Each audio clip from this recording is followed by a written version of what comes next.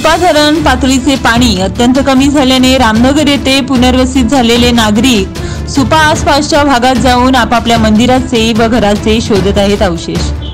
सुपा धरणाच्या पाण्याच्या पातळीत कमालीची घट झाली असून सुपा धरणाची पाण्याची पातळी पाचशे चौसष्ट मीटर असून सध्या पाचशे अठरा मीटरवर येऊन पोहोचली आहे.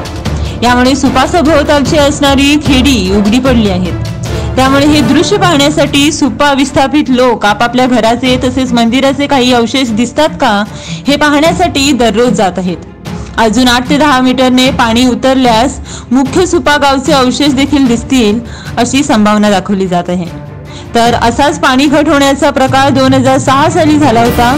परंतु त्यावेळी सोशल मीडियाच्या अभावामुळे सर्वांपर्यंत पाणी घटची माहिती पोचली नव्हती.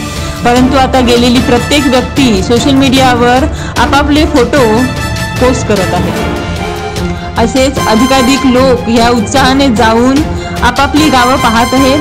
अनेक नागरिक जोयडा नागोडा येथून पांजिरी येथे जाऊन तेथून बोटीवरनं बसून पुन्हा चालत जाऊन सुपा बॅकवॉटरच्या असणाऱ्या खेडी पाहत आहेत.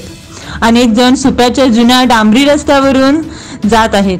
तर गेली चाळीसहून अधिक वर्ष सुपा गाव पाण्यात राहून देखील येथील डांबरी रस्ता अजून देखील तसाच आहे. यामुळे या रस्त्याचे तसेच तेव्हाच्या कलाकृतीचे मोठे कौतुक करण्यात येत आहे. समत वार्ताच्या ताज्या घडामोडी पाहण्यासाठी आमच्या चॅनलला सबस्क्राईब करा.